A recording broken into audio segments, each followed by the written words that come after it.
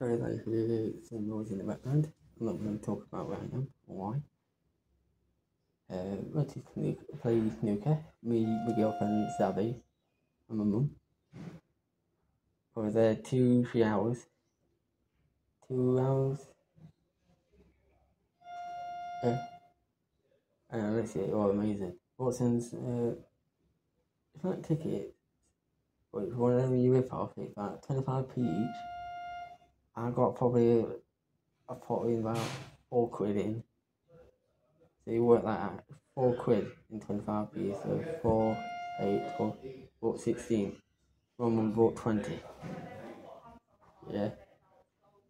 My mum didn't win nothing. And at the all lot, I had about three one pound coins, that she won. and then they won a hundred quid. What you're about to see is a, a photo. What I mean, got a few points, physically ways, and not that.